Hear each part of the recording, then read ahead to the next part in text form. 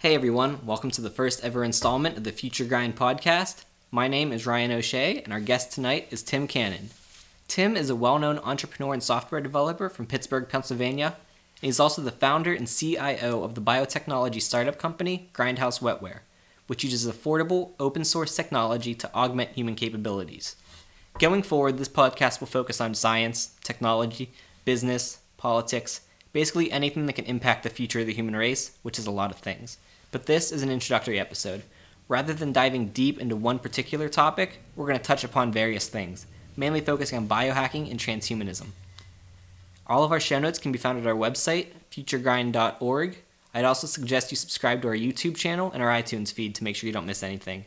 Make sure to like, comment, rate, and share this everywhere to really spread the word.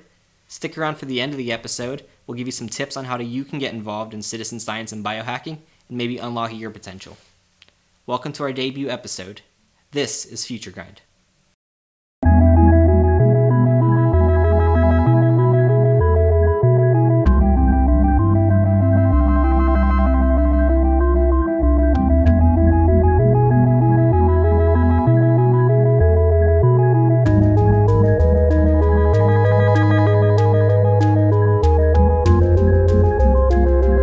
Welcome to the show. This is the first ever installment of the Future Grind podcast, and we're here at Hack Pittsburgh, a makerspace in Pittsburgh, Pennsylvania, in our little makeshift studio here. And I'm here to welcome Tim Cannon to the show.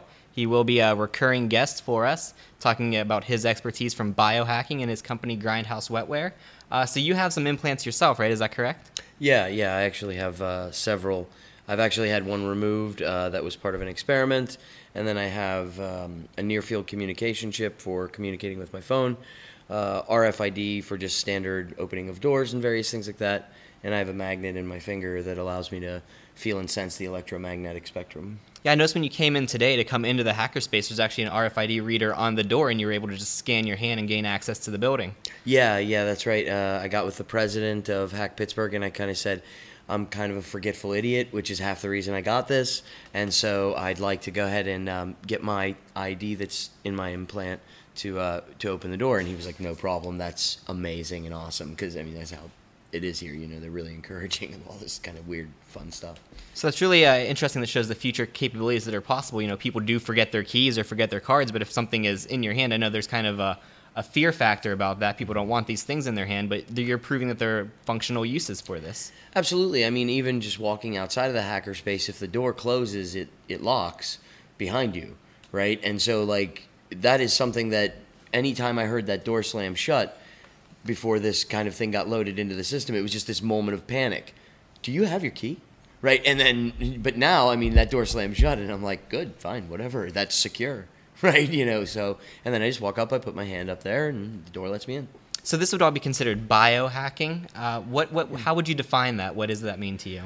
Well, I think biohacking is just, it, it's like almost any other kind of hacking uh, where you just basically come to understand how a system works and then use it in a way that is unanticipated for some benefit or other behavior that, that results in that. So, for example, the fact that your hand uh, can fit these things, um, these electronic components, with no problem, uh, and there's plenty of room there, and it's really easy to implement this is a sort of hack. It's you're you're taking an empty space in your body that wasn't being used for anything else, and you're putting a key there, a key that no one else can get to. So it's a kind of that's a little hack. Or this finger magnet, you know, it's a little hack where I know that I can feel things and there's a lot of nerves there. I know that magnets wiggle in the presence of fields. So, therefore, understanding those two systems, I can make a connection and feel the electromagnetic field. So what you're doing is basically enhancing the human body beyond what would be natural capabilities. You're augmenting it to perform new things. Right. And there's already a biohacking industry. It's called the medical field, you know. Right, so yeah. Eh, people think, you know, oh, it's weird to have technology involved in your body and you that's a very logical step to take until you think, well, people have prosthetic limbs. Right. People have pacemakers, people have cochlear implants. This technology is already brought into our body, but the medical field only does it to make us up to an arbitrary definition of normal. Right. But why not biohack beyond that? Why not extend human capability? The modern medical industry is kind of focused on solving problems once they arise. Yes. So I guess what, what biohacking and transhumanism in general would like to do is maybe take care of those problems before they become problems and transcend these human limitations. Right. And that's something that a lot of people do have a sense of fear factor for. They feel like, oh, I am a human now. It's scary to become transhuman. But I think it's clear that if you could phrase that another way, that we are already transhuman. You know, as soon as language was invented and communication took place and writing happened in fire, mm-hmm. we were able to form a society based on technology. And we are kind of living through our technology in this and this feedback loop that it creates us and we create it and it goes on and on so in the same way that you know we already wear glasses we already wear clothes we can fly in airplanes and if someone if you talk to someone 2000 years ago someone who could do those things would be a transhumanist right they'd be a, well they'd be a god right they'd be exactly. worshipped as a god i mean if you go back in a time machine with a lighter just a lighter the ability to create fire during the stone age with the flick of your hand would be basically enough for them to be like oh my you're you're amazing you know what I mean? And and the, the, you couldn't explain the mystery to them because there's just so many contextual things we take for granted.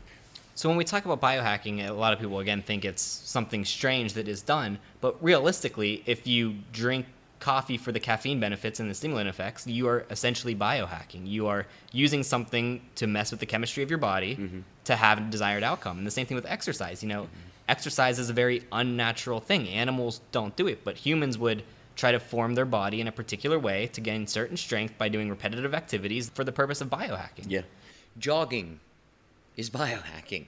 You know, people don't understand that jogging is something that we invented, that we do, that's somewhat unpleasant for health, right? Um, and it's it, there.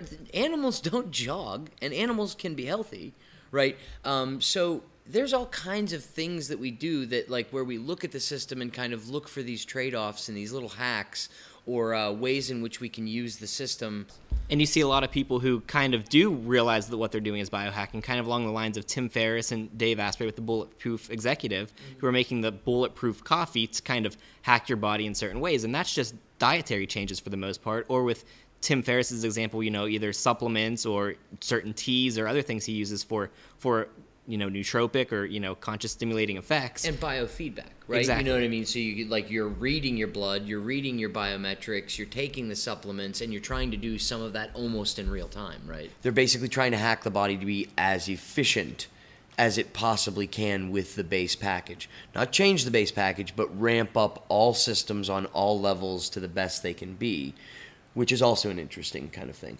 So coming back to the biohacking, it seems like there's a few different subsets of that in itself. You know, one is the technological route. Let's merge man and machine mm-hmm. and use you know hardware and technology that we make to interface the man-machine interface. And the other one is the biological. Let's let's transcend biology. Let's regrow organs or 3D print skin or you know use cognitive enhancer chemistry to mm-hmm. do that rather than hardware. Uh, where do you fall on that spectrum? And do you think one is better than the other or more likely to succeed than the other? on the spectrum, I would say that I tend to fall more into the um, merge man and machine kind of spectrum because I just find genetics to be overly complex. I think we have materials that we completely understand how they work and we should use those. But um, at the same time, uh, Amal Graafstra from Dangerous Things, he, he mentioned to me uh, one time when we were having a discussion about this, he kind of said, you know, I think your thinking's too rigid. He said, I think the biological sciences are going to come to meet the machines and make us more capable of interfacing with the machines, and the machines are going to come to be more capable of interfacing with our biology. So our biology will change, and it'll change to accommodate the fact that we're mostly machine.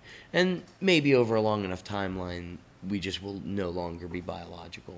You see someone who would have an amputated leg, for example, and get a prosthetic limb, and there's cases where they realize – this prosthetic limb is really good. It's better than my other leg. Mm-hmm. Can we chop off my other leg and I can have two prosthetic legs? Right. And you know, it's those people who already are in that situation that do that. But pretty soon, as the technology advances, you're gonna have people. That arm is way better than my arm. Can I get that arm? So, and this is this is reasonable, right? Uh, this is what kind of bothers me is when people like kind of recoil against this sort of thing um, because of learned behaviors and kind of like the sanctity of the body and this sort of thing, right? But like on a very rational level, if and if there is a artificial arm that you can easily let, let's just pretend that it's free, right? And it's an artificial arm and it is in every way superior to yours and has a rejection rate of like 0.00001%. Like I mean, it is like an ear piercing to get this thing done. And vastly superior. In what world is it not rational to to take that leap? And and limbs are one thing where it's not really going to kill you, but if you get into artificial organs, you know your biological heart is going to go bad. Yeah. That is a fact. Mm-hmm. And so to a lot of people who do have you know organ replacements or implants or you know get it from a cadaver or something, they typically get to the point where it's going to go bad. I'm going to die shortly. Maybe I almost already did die. I need a new organ. Whereas if you have the artificial organs made, the synthetic biology or the technology ones, you could implement that into your already healthy heart, replace it, and be good to go for an indefinite amount of time. Right. And and and it's kind of silly too because we you know we're replacing uh, human hearts with other human hearts.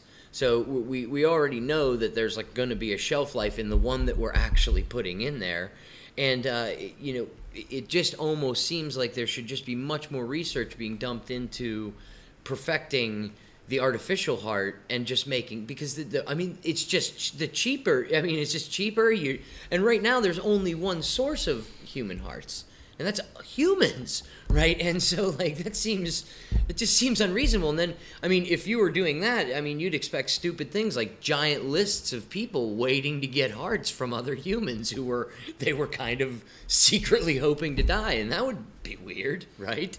You know um and so like this is the kind of thing we we really need to focus on the idea that biology is well at least for me biology is mostly a tangled mess.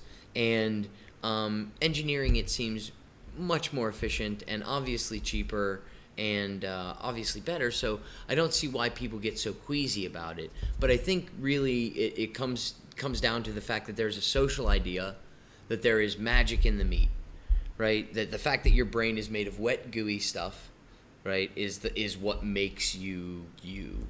And even though your cells are replaced, you know, cell for cell every seven years, you're not the same stuff. People get queasy about taking away the meat and replacing it with something that is, by all logical accounts, superior. and a lot of that might be rooted in religious belief uh, whether you know a god is, or yeah. a god's created this intelligently created your perfect human body to be placed here on earth to live out his will or do what the gods want or anything like that uh, but i mean anyone looking at the human body can see that it's not a very intelligently designed thing i mean the example that's often used is you breathe and eat through the same tube Right. how many people does that kill a year you, that's not a good design Statistically, people will die every year because of this poor design. and you also have all these vestigial organs you know the appendix or tonsils they they don't do anything to you until they kill you right? And so, you know, the, the human body is this like massively frail thing. Once you recognize that a organ is vestigial, the the common sense thing to do is to remove it. I don't have an appendix, right? Because mine tried to kill me. That's probably a bad design flaw, something we could easily do something about. There's a cultural idea that it is hubris to think that we can do better than nature when we are constantly doing better than nature. There is this idea that it is not okay to mess with nature, even through science and, and many other people. Like, you know, you, you find it in even logical realms, right? Where people just say, oh, I don't know about that. And, you know, I can just picture people saying the same thing when we were getting ready to walk out of Africa. Oh, I don't know if we should go out there. I think there might be dragons. There's no dragons. They're not there. They never are. But this is something that, you know, looking into transhumanism, which is what all of this biohacking and everything we talked about so far would fall under, you know, transhumanism is an interesting thing. It's basically expanding beyond what it is to be human and becoming something more. But we've been doing that since we left Africa, you know, mm. since humans evolved from the, whatever we were previously to now. You have been, you made fire, you make language, you make technology, and that technology is a feedback loop that then, you know, influences the next generation and how they think. So we're already transhumanists. I think if you would go a thousand years ago and ask someone, you know, what would a transhumanist be, they wouldn't know the word, first of all. But Right. to imagine someone flying in the sky in a plane or going to the moon or communicating virtually with like kind of a telepathic presence to another human across the world through your phone, that's transhumanism. Mm-hmm. That's the that's the definition of transhumanism. But we think of it as normal now. the word transhumanism, I kind of have a problem with it because I think even when we are merging with machine and we have prosthetic limbs and technology all through us and we can 3D print and replace organs or improve organs at will, I don't think these people will consider themselves transhuman, right? Because they are they are at the same level that we are compared to thousands of years ago. Right. So you'd always consider yourself, I feel like, human at some point. Well, yeah, you're going to have a bar, right? And then there's going to be people above and below that particular social uh, norm. And and I think it, like you're saying, it's just it's going to follow just the same trend as everything else did. It's just some of these things that move these ideas forward have to take on a movement like kind of um, direction, right? They have to act as a movement. You know, the civil rights um, is probably something that that was going to happen over the long enough timeline. But putting a name on it and directing it forward allows the social norm to go that direction. And so I think that's why transhumanism is a word and needs to be an idea, because it's it's a stated direction that we would like to take humanity. Humanity is always going to consider itself humanity, but what direction we go is very important. So when people are scared of what's coming in the future, oh, it's going to be weird. We're going to lose our humanity. We're going to still be human. We're, we're just going to be. We're going to be more human. This is the this is the ridiculous thing. Humans are complex, right? And our complexity is part of what defines us.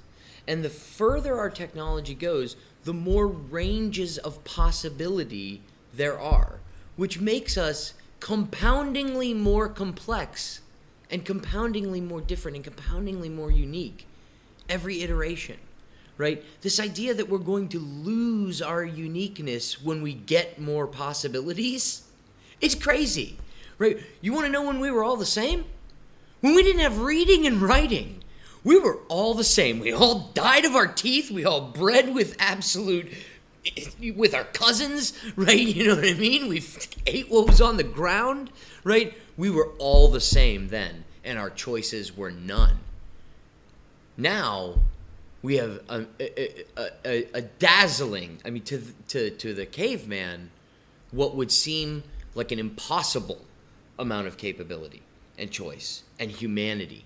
Because you know what we don't do a lot of anymore you know is like choke each other to death over women right? Or food right? Not you know what i mean? Not not as not even close to how it was in the, i mean there's not even remotely the amount of violence right? And remotely the amount of injustice, right? Eh, there's still tons of injustice. There's still tons of work to be done in humanity. And I think that what we look at is the more technology and the more education and the more ideas and the more choices that we create in this world, the easier it is to vanquish those injustices because they come from ignorance, right? And that's that I mean that's the name of the game and people don't realize that because I think with the inundation of news and media and that you can find anything you're looking for, people don't realize that we're living in the best time in history. You know, violence is at an all-time low, poverty is at an all-time low. You can.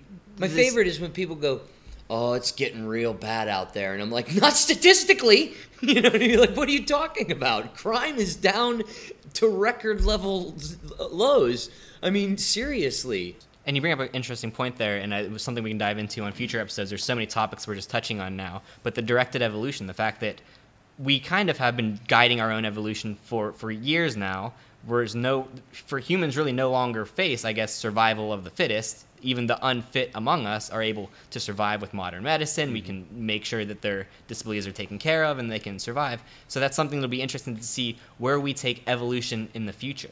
Yeah, absolutely survival of the fittest. Well, you know, yeah, we're we're above that kind of genuine survival because that's not what our goals are anymore, right? Survival of the fittest, fit to what? Fit to for a cutthroat world with with finite resources and and the only way to succeed is to make sure that you other species starve and you don't. That's not a game I want to play. I don't want to even be involved in that system. I mean, yeah, observe it scientifically from a distance. It's pretty fascinating, but I don't want to be in competition with the crocodile genome. It's it'll kill it'll crush me. It's good the crocodile's gonna outlive us all, you know, if we stay this way. So what do you think you'll see going forward? What are you most excited about? That's a project that's in the works or that you think has the most potential to help humanity within the near future? Well, I mean, within the near future, I, I think you have um, a lot of people kind of doing things in terms of like artificial organs. I think those are those are really big. Like any kind of replacement or prosthetics for parts that are going bad, I think is is huge.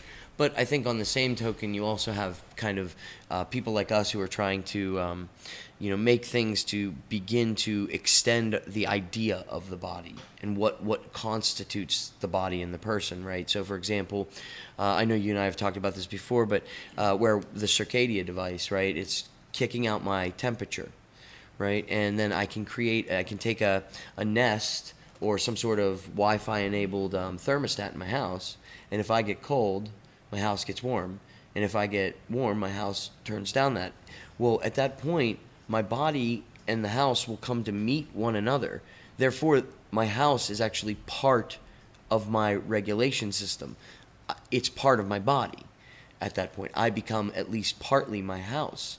And um, I think that that is going to really extend our thinking into what what is humanity and what we can be.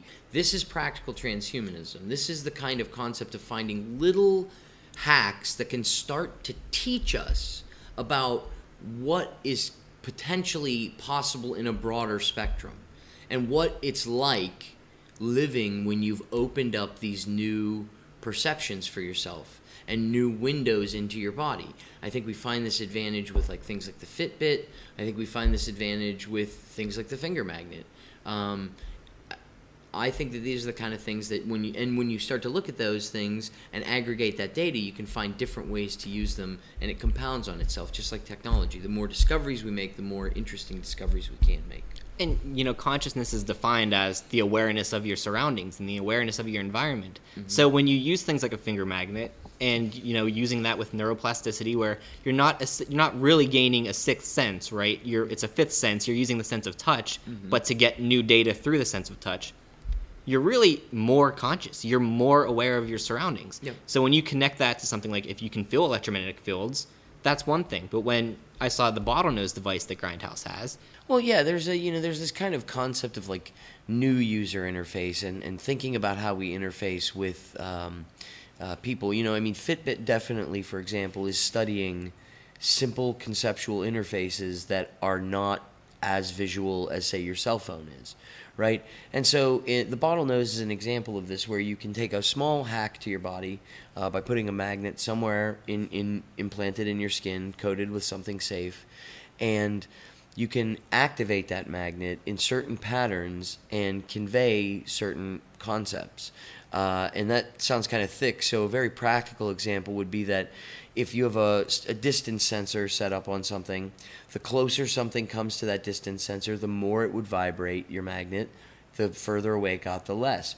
Everybody can understand this simple concept, so you can immediately close your eyes and tell whether something's approaching you or leaving you, and you can tell roughly how close it is with your eyes closed, just sensing through this magnet.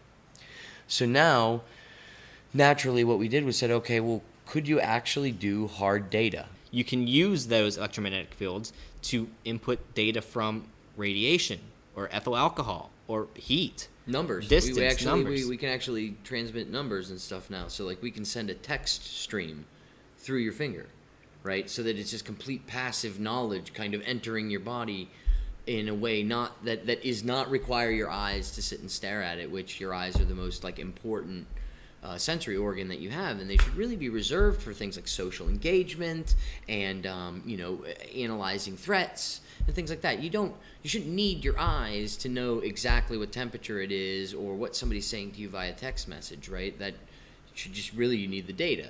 So we figured out ways to do that just using these finger. And you see the problems like distracted drivers, or all the time you see people complaining, "Oh, we're at a social gathering and everyone's on their phones." Mm-hmm. Well, when you have this technology with with the bottlenose device, and you can send information.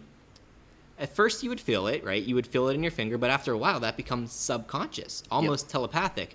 Oh, Well, I mean, so and so is tests were- saying this yeah. to me. The They're- tests were ridiculous. The test runs that we did, like, I mean, we had four or five, I think it was five people in the lab with magnets, and everybody got over like an 80% on their first attempt at detecting numbers, right? So we just we gave them the chart and let them try to do this the random test, and it was ridiculously intuitive. So I can't imagine it takes very much practice. So I think you just made a lot of uh, college students and gamblers very excited with the concept of being able to send numbers silently to yourself sub- and reading them subconsciously. So that's one of the things that you know you look at going forward and potential uses of this that people could get anonymous or you know subconscious silent data transferred across a room or depending on how it's emitted and you see one of the problems you could get like what if you're walking down the street and advertisers find out about this and you can get ads pumped into your finger and you can't stop them Is right. that- oh, of course. Uh, of course. There is no technology that, that can't be used for both good or ill. It's just, it's simply,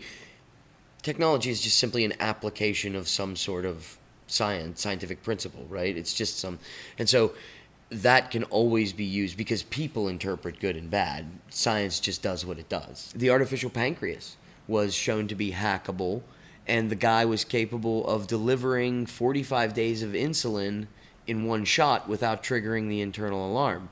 This was presented at DEF CON a couple years back, and it was like anybody paying attention should have understood that that without triggering the internal alarm that means that somebody could make a political assassination and it would look like a malfunction and nobody would ever be the wiser right? And that should be scary. So we do need to investigate these techniques. It's important.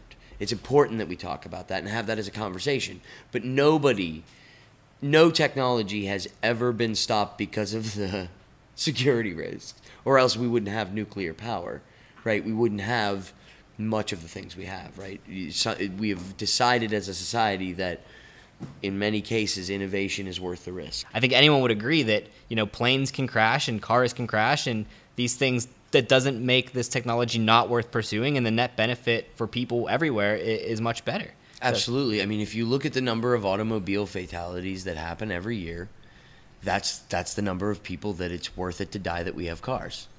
Right? I mean, that's, as a society, we've decided that, right? It's okay that that many people die in cars so that we can all get to our jobs and Starbucks faster. And Sam Harris makes that argument too. He mentions that we could eliminate automobile fatalities almost completely by By- making the speed limit five miles an hour. Absolutely right. Yeah, uh, but uh, but does anybody want to do that? No. So it's okay that these you know and and, and again, this is a, a responsible conversation about a society that's taking risks and determining what collateral damage that and, and nobody thinks about it that way, but maybe they should, right? And then we can have these conversations in a responsible way and say, is there too much collateral damage from this? How can we mitigate that? How can we do, do anything that we can do to not take away freedoms, but really mitigate as much risk away from something as possible? Should be the conversation. There are some things that even I would be like, like if somebody's like, "Oh yeah, I want to just make a nuclear bomb just to you know see what it's like." I'd probably be not for that. Like I'd be like, you don't get that freedom. I'm sorry, you know, and because the collateral damage involved in the risk is just far too great. It's one guy who could screw up virtually any part of the process and wipe out like parts of the world are not allowed to be lived in anymore for a while. That's too much, right? That's too much collateral damage. Well, we could do a whole episode on Fermi's paradox, and I think I'm sure we will at some point. But that's one of the things people talk about is the reason that we don't find alien life, which mathematically and probability wise should exist, is because did they get to the point where they made a technology that wiped them out instantly? Did they find something that destroyed their race? And I think. Uh, it's going to be interesting to see what happens to humans when we get to these points that will we discover something that is so dangerous that it's not worth the risk. Right. A lot of this technology isn't accepted yet. People don't have the uh, free ability to alter their own bodies as they see fit, and you know a lot of these regulations are very much justified. How, what do you think the the path going forward to that is, and how we should address that? Well, I think the path, go- the the correct path going forward is the least likely one, which is a well-reasoned conversation where we talk about what type of collateral damage as a society we're willing to accept for this sort of freedom. But we're not allowed to talk about freedoms like that, right? We don't think about the fact that we feel that the freedom to skydive is worth any amount of skydiving accidents that could happen and the objective is to reduce skydiving accidents as much as possible but if somebody bounces off the ground skydiving's fun. That guy should have pulled the cord you know right? And so we're willing to accept a certain amount of collateral damage I think that having a well reasoned conversation about what sort of collateral damage we're willing to accept as a society in order to have this liberty is what we need to is what we need to do. And I think we need to get philosophers and I think we need to get religious people and I think we need to get scientists and I think we need to get society engaged in that conversation. I don't I haven't seen that particular strategy employed on any other social problem that we've had so far. So I'm not holding out hope. But it's slowly becoming, you know, ubiquitous in, in the culture in general that this thing is coming. I feel like it's known in the the upper echelons, you know, the business people, the one, the thought leaders have known this for a while and have been talking about. You see people like Elon Musk or Ray Kurzweil or Well, I went to I went to that World Business Dialogue, right? Uh, and this was in in Germany, and it was um, the top 0.1 percent of students from 70 countries going to get lectures from business and industry leaders and innovators of today, right? Um, so the one percent, they're interested, right? I, I did a I did a speech at a castle. That was weird right? You know what I mean? I you know I was speaking next to people named you know Doctor Professor, something something, right? You know, so it was you know the, the and and the people who you know put on the party they were like, this is our castle, we bought it because we wanted a castle. Right, you know what I mean, and that's the kind of people. And I was doing a speech on that. There was a speech on ampakines. There was a speech on genetic age research. There was another one on implantable technology. Another one on um, you know, space exploration and preparing the human body for space exploration, the medicine of space. The 1% are freaking interested. The And- upper echelons of technology are interested in transhumanism. They want to know what people have to say. John Q. Public, I mean, I don't think a lot of people, you know, are interested in getting this message along because it's understood that this is going to gain people a ton of power. People who in, institute this early and often are going to have the advantage. and you see a lot of conspiracy theorists about that. This technology won't be available to the normal public. It'll be available only to the 1%, only to the super rich. But you see, for you, example, with Grindhouse Wetware, I mean, you are making this technology affordable and open source. Anyone can see it, and I think that's the route we need to go. If you miss the boat on this, it's because you didn't get on the boat. The Right. boat is here. Anyone is welcome to get on the boat, whether you have no money or whether you're a multimillionaire. And the billionaires and the millionaires are the ones that are a lot of the ones that are interested in this because they see the potential. You look at the 2045 initiative, which is basically just a Russian billionaire trying to live forever. And you know, and the thing is, you know, you, you hear all these academics and they kind of say like, oh, well, you know, the problem is if you want to do any of the real exciting, cutting edge research and work, right, you have to bow to the man and you have to follow their rules and, and borrow their equipment. And it's like, man, we could build our own equipment for cheaper. The 3D printer and the maker community has proved this triple time. You get a bunch of people working on an open source project, you will reduce the cost of equipment many, many fold in such short order, it will make your head spin. We could be doing this like this. But unfortunately, everybody has this localized thinking of, I want to do the best research. Right? At Grindhouse, one of the things we accepted was our research is going to be capped by the equipment we have to test it. Some of that we're going to have to make ourselves because it's cheaper than buying the most awesome stuff. We have to prove something. Can we prove it scientifically?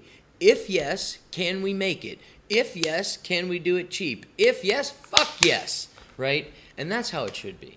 That's how we should be trying to approach this problem is crowdsourcing it, which means that we need tons of academics abandoning this bowing to these sorts of rules and beginning to figure out how to get into the maker communities and build these pieces of equipment that are instrumental. You know, chemostats and 3D printers and uh, you know uh, PCRs and you know these sorts of uh, building blocks that people need. You know, photo etching equipment and, and teaching how that works, uh, so that people can build their own circuits and prototype quickly, cheaply. That's what we need. And it's clear that while this is still in its early stages, that this is spreading to the public. You see things like the Transhumanist Party now, the political organization with Zoltan Istvan running for the presidency, and there's various That other people. awesome, by the way. I really like him. Yeah, do, doing great things, bringing really being an advocate of spreading this word to people and letting people know that you know we should fund this. Basically, let, why aren't we funding this? Why is the aren't thing we that's- funding this? exactly. Yeah. It- well, yeah, and, and, and that's the- like I love it when he posts shit like like um I'm not trying to make more jobs. I'm trying to make less people have to work. Exactly. You know, that's a message. when you have people doing menial jobs, no one should have to do monotonous, repetitive work that a machine to do so that they could survive or so that they could buy healthcare or buy education or live. Held hostage by your belly. You know, and I hate this concept in our society that this is okay. You know what I mean? And, and then even here, especially here in America, where you kind of have this kind of capitalisty notion where everybody kind of ignores the fact that our roads are totally socialist. And when you tell somebody that, they go, "Well, you need the roads." You're like, "You don't need food? You don't need medicine?" I mean, those seem like they even are more important than roads. And people Right. think this is a zero sum game. You know that if Oh. someone else gets in, someone else gets an education, gets healthcare, that's healthcare and education that I don't get. But you don't realize that if someone else gets an education and they cure cancer, you don't have to worry about cancer anymore. The, exactly. This is. The, I mean, and it's hard to not. I mean, but we're animals, right?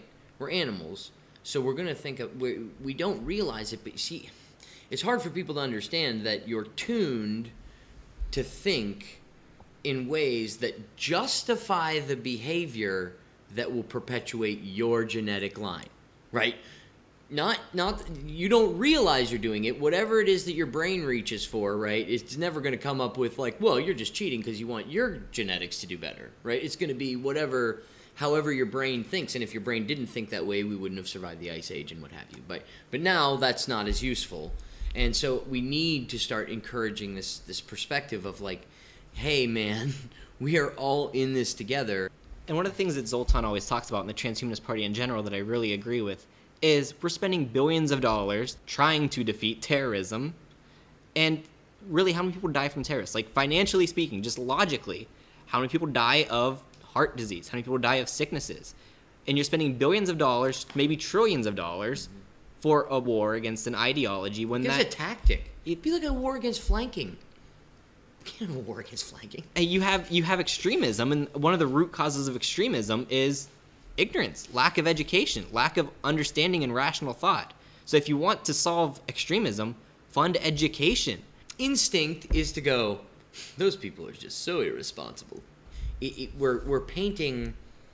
We're painting an animal behavior problem as a as a social responsibility problem, and that is never going to work, right? And that's part of why transhumanism is uh, again an approach that is going to solve problems in a much more effective way because transhumanism is a framework for thinking about yourself as flawed in an objective way and taking an animal behavior perspective on how to solve a problem. How do I get my dog to stop attacking and biting people and e- eating every rabbit it sees and all this sort of thing? And it's like, how much does it eat? Well, if it never eats, I bet it bites the shit out of you.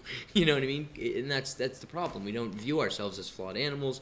We view ourselves as like gods of creation because we've been able to like slap together stone and wood effectively for a couple thousand years. Right? Pat on the back.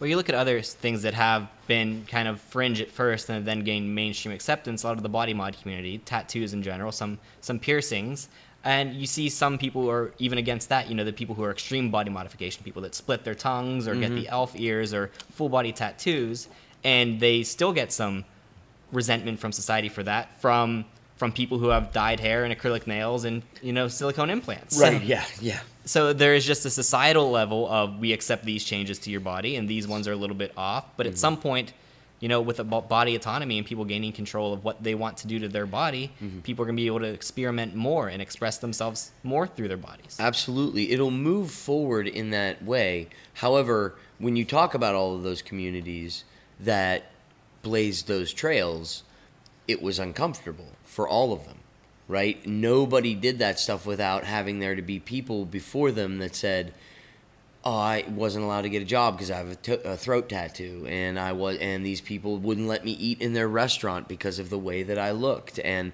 these sorts of um, negative experiences that come from forcing society to deal with the fact that this is your right and this is your right to change it. And uh, it's unfortunate that society can't, again, just have the well reasoned conversation that's required. But, you know, this is what it is. And speaking as someone who has no piercings or no tattoos at all i mean i but i totally understand why someone would Yeah. And uh, I think one of the great things we have now is people feel more at home in their body, and that's a great thing we're going to see going forward. Yeah, absolutely. I think it's it's, it's critical that we, we talk about that sort of stuff. That that that the that we live in a world now where you can be more how you feel on the inside than ever before, and and the and that should be a really really positive thing for people. I don't understand why that's frightening. The fact that we live in a world where we have more choices in the ways in which we can express ourselves, both inwardly and outwardly, it seems like a great benefit to me. Uh, so you said earlier that you had some things that you might want to tell people who were interested in getting into biohacking or hacking their daily life to, to learn more about this process and get familiar with it. And what, what would you say to those people? Well, basically, in my opinion, what you want to do is kind of like browse around and find something that you think is is interesting and sounds like an interesting experience that you'd want to have.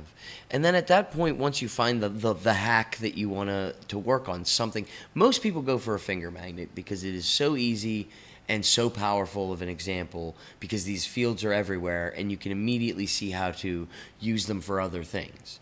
And so, but whatever your hack is, whether it's, you know, some kind of nootropics or exercise or whatever, learn about it. Learn about what it would take to accomplish that goal and learn about the surrounding sphere. Find the communities that are discussing it. Go to reddit. Go to these places.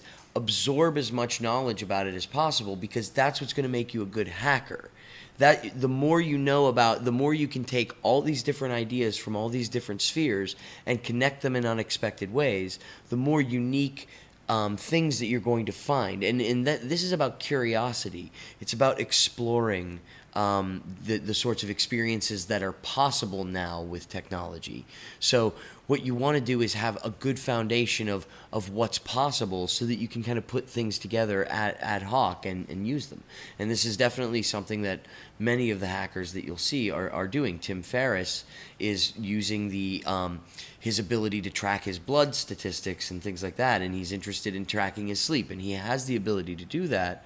And so now he's using it in unexpected ways to see if he can maybe get a more efficient type of sleep or uh, do something different with macronutrients that increases a positive property in the blood.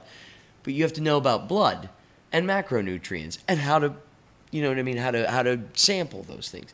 You have to learn about all of those things. So it is a, a lot about self education and finding uh, communities for collaboration and that sort of thing. But they're out there and they exist, and it's not there's not a lot of overhead. It really just takes passion and willingness to read a lot. And one thing that people do have to be worried about, I think, is you know, there's a lot of experts, like you mentioned, Tim Ferriss, who's doing some interesting things, and there's Bulletproof Coffee with you know, Dave Asprey, and then you have Steven Kotler, who talks about hacking the flow state and getting into these things. And these are, I would say, are you know they have some science behind them, but there's a lot of people out there that or the the woo factor. The, yeah, woo woo. The woo woo guys that you know, oh, use this magnet that will this rare earth magnet will make sure that the energies from the pyramids help you do things. Right. Yeah. yeah. And that you, oh, so, oh, your chi is all messed up. Exactly. right. Yeah. So a lot of times, some of this transhumanist stuff blends into the world of. that You need to keep that separation there. You need to be scientifically literate to be like, is there data to back this up? Is this something that is logical and can be proven. Clinging to facts and the scientific method is going to be your life raft if you're going to enter biohacking. It's a life raft. It's it's a it's a fixed point.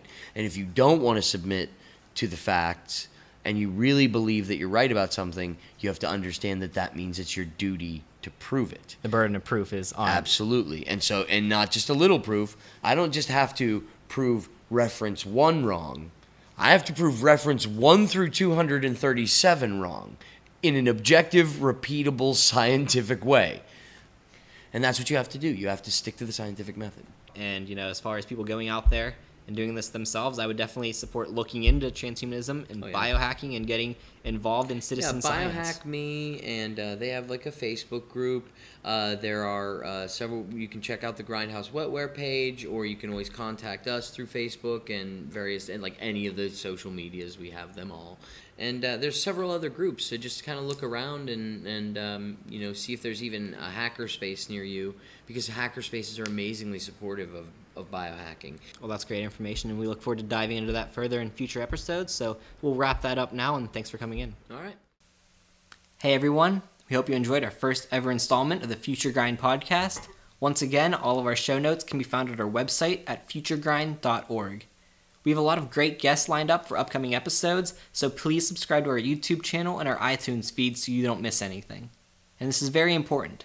Please like, comment, rate, and share this. Leave us your feedback to let us know what you thought, what guests you'd like to see, and what topics you'd like to see discussed. We hope to see you next time on Future Grind.